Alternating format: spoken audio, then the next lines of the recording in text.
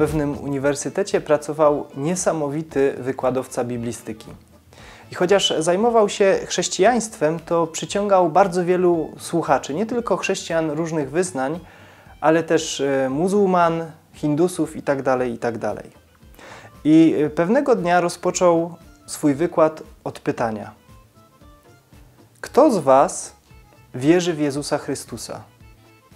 Jakaś część sali, niewielka, podniosła ręce w górę. Kto z Was zgadza się z Jego nauką? Podobnie, tylko niewielka część sali podniosła rękę w górę. I trzecie pytanie: kto z Was kocha Jezusa Chrystusa? Jeszcze mniejsza liczba studentów podniosła ręce w górę.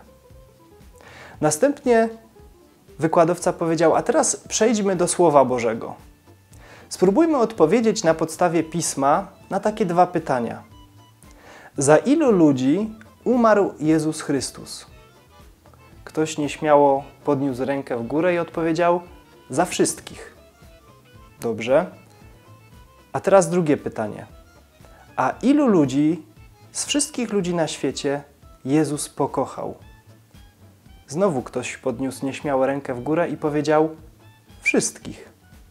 Bardzo dobra odpowiedź, powiedział wykładowca. Jak to jest więc możliwe, że Jezus umarł za wszystkich i kocha wszystkich, chociaż nawet nie wszyscy z Was tutaj zebranych kochają Go i wierzą w to, co dla nich zrobił. W liście do Rzymian Paweł składa nam życzenia.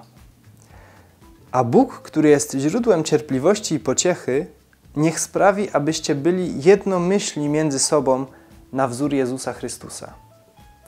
W języku polskim to słowo jednomyślność może sugerować, że jedność jest możliwa tylko wtedy, kiedy będziemy myśleć to samo, mieć tę samą doktrynę, tę samą teologię, kiedy będziemy mieć jeden ustalony sposób patrzenia na daną sprawę.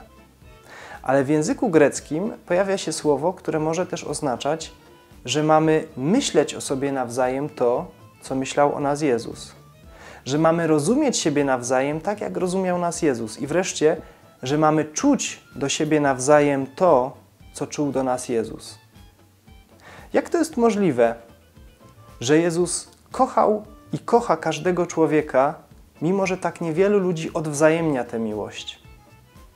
Ja myślę, że to jest możliwe tylko i wyłącznie dlatego, że Jezus uniezależnił ten, tę miłość od tego, co sobie o nim myślisz, co do niego czujesz, czy jakie masz poglądy. Bo gdyby było inaczej, to Jezus kochałby jednych bardziej, drugich mniej, trzecich w ogóle by nie kochał, a za niewielką ilość, za garstkę tylko byłby w stanie umrzeć. Ale Jego miłość jest niezależna od tego, kim jesteśmy. Dlatego kocha Ciebie i kocha mnie tak samo, mimo że tak bardzo się od siebie różnimy.